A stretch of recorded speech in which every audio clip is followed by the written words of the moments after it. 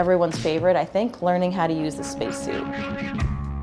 We do that in the neutral buoyancy lab. You're weighing over 400 pounds when you're in the suit. So every movement, you know, every hand movement is like squeezing an exercise ball. Then we have robotics training. So we learn how to fly the Canadarm, the big robotic arm that's on the outside of the space station. We still use it on a routine basis to either reconfigure the space station, using it for spacewalks, using it to do different tasks or repairs on the outside of the space station. Third area that we have is the International Space Station systems.